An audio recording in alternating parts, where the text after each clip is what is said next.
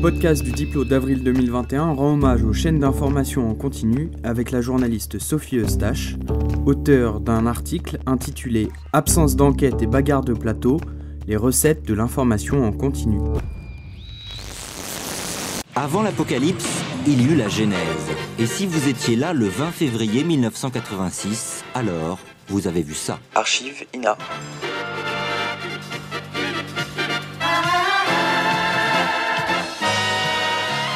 Madame, mademoiselle, monsieur, bonsoir. Nous sommes très très heureux de vous souhaiter la bienvenue sur la 5. Merci d'avoir allumé votre téléviseur, merci d'avoir ouvert votre maison et nous l'espérons, votre cœur à la 5. La 5, c'est classieux.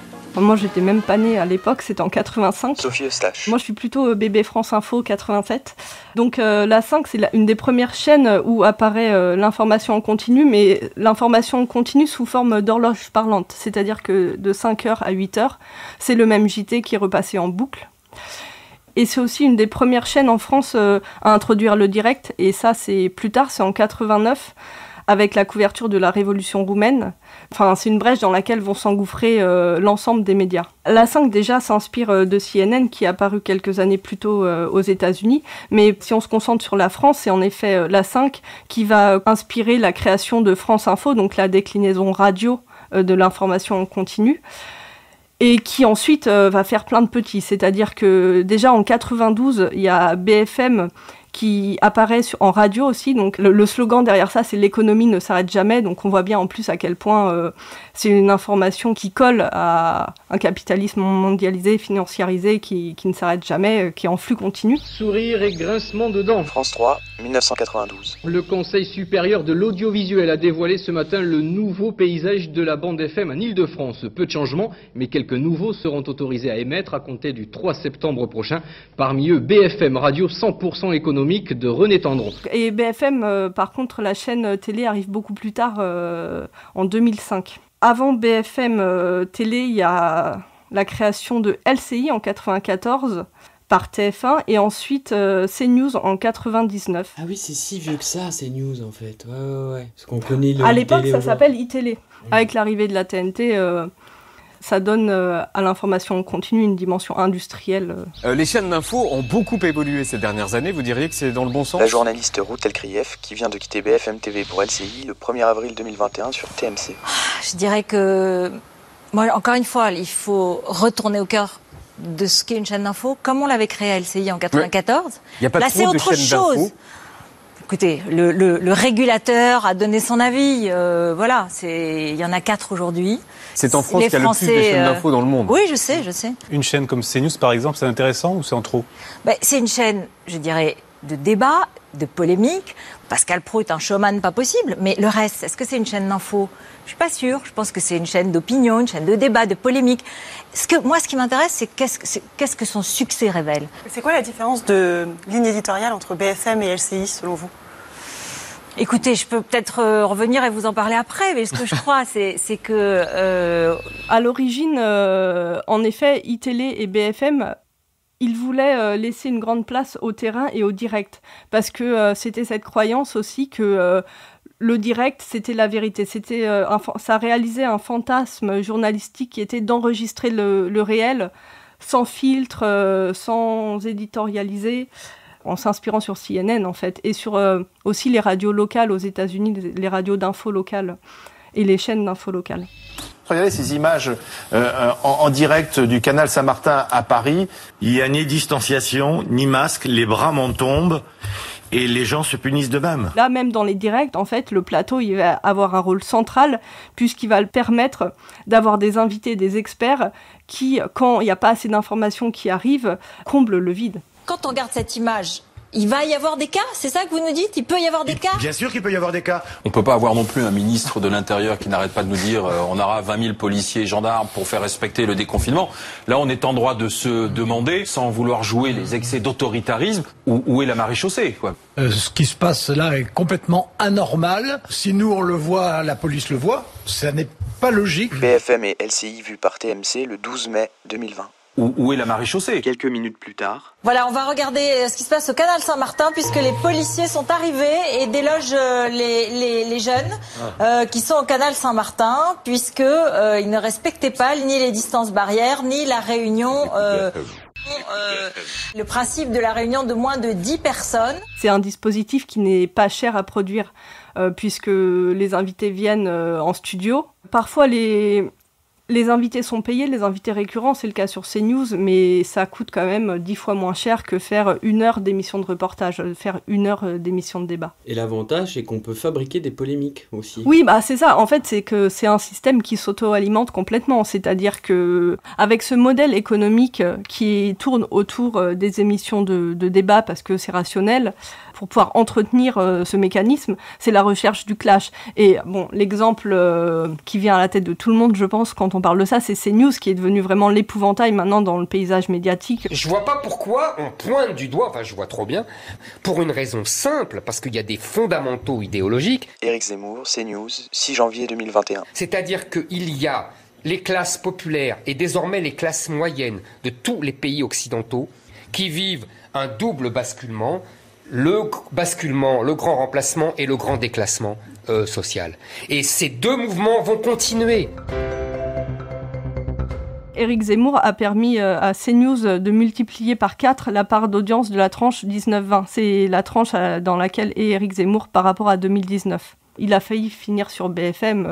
Marc-Olivier Fogiel, quand il arrivait à BFM TV, pensait à le recruter pour le mettre face à Alain Duhamel. Donc Éric Zemmour, c'est pas un épouvantail, c'est pareil, c'est un symptôme de, comment ça marche. Que ce soit sur BFM, euh, sur euh, France Info, sur LCI, il y a une grande place à ces émissions de débat et à, cette bagarre de plateau et cette, euh, cette mise en spectacle de l'information. Les clés de, ces émissions m'ont un peu été données par Emmanuel Vieilly, qui est un comédien qui travaille pour l'INA Expert et qui forme des présentateurs euh, d'infos en continu, donc il les forme vraiment sur la forme, c'est-à-dire euh, comment on se tient en plateau pour euh, garder l'audience, en fait, garder le spectateur. On vous demande quoi dans ce genre de truc? Moi, je vais au plus efficace, que ça me plaise ou pas? Je regarde les gens qui font de l'audience, puisqu'apparemment c'est de l'audience qu'on veut. Quand vous dites quelque chose, vous avez envie d'être écouté le plus possible.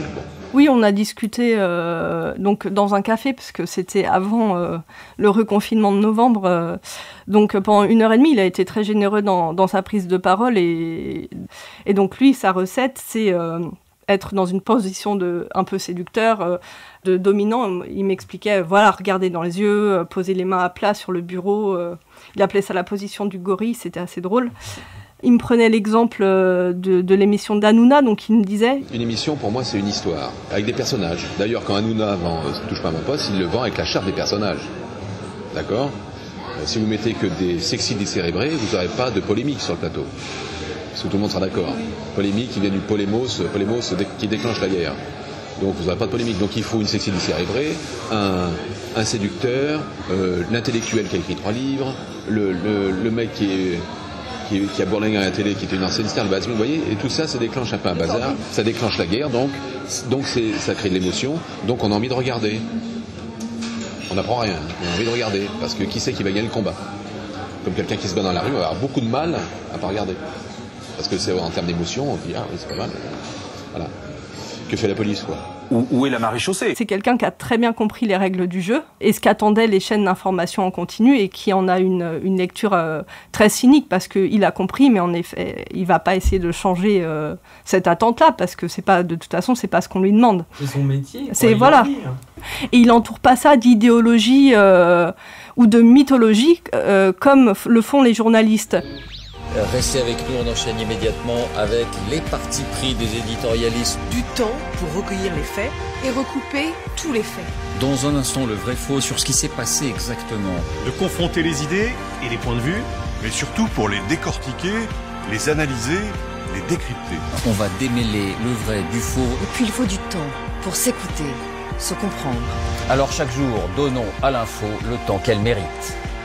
24 heures Pujadas du lundi au vendredi. L'événement ce soir, c'est aussi le lancement d'une nouvelle chaîne entièrement consacrée à l'information en français. Chazal, TF1, juin 1994. Son sigle LCI, la chaîne de l'info. Voyons comment l'équipe de LCI a vécu les dernières heures avant le lancement Dans quelques minutes, c'est parti. Ça roule. Ça va être génial. David Pujadas. Je te remplacerai pour ton Avec si tu veux. plaisir, avec plaisir. De temps en C'est une temps, aller en idée. Normandie. Ah oui, oui, non, c'est une très bonne idée. On est tous prêts.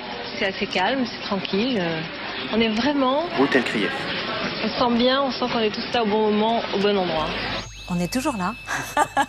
on est Et toujours là. Et on est LCI encore aussi. plus beau, hein, d'accord Ah mais vous êtes mais alors On est là, encore oui. plus beau. Mais oui, carrément. Le spectacle euh, de l'information en continu et la starification des présentateurs, ça invisibilise clairement euh, le travail collectif de production de l'information et euh, les, les journalistes qui sont euh, des, des subalternes en fait euh, dans la production de l'information. Donc ça va être les deskers euh, qui montent euh, juste les, les- les images qu'ils reçoivent des journalistes reporters d'images. Ça va être euh, le journaliste qui est chargé d'écrire le bandeau. euh, Les bandeaux défilants, les, ban- fameux les bandeaux euh, sur les.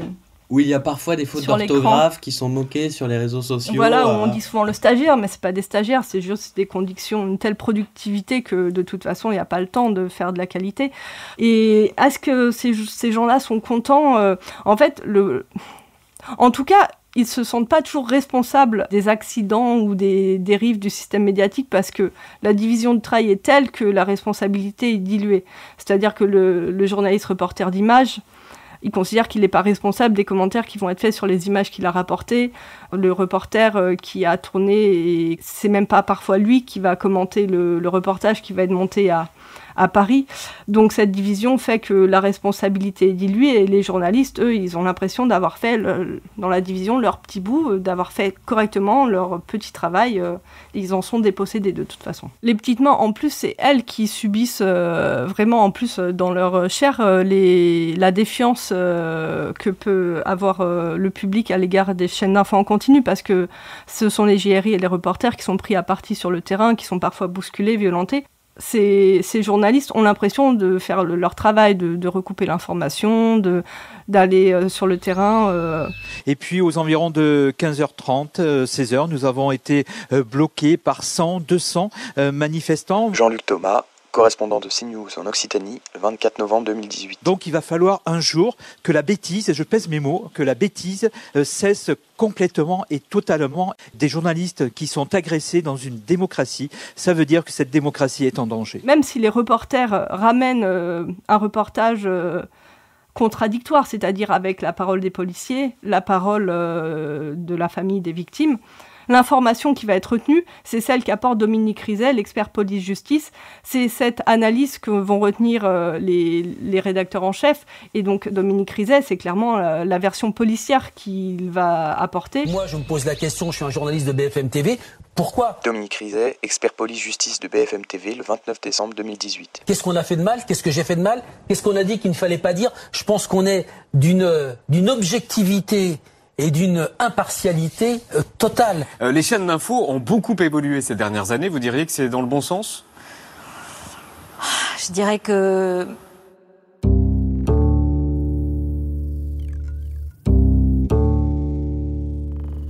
Retrouvez tous les épisodes du podcast et toutes les lectures d'articles sur la page du journal audio monde-diplomatique.fr slash audio.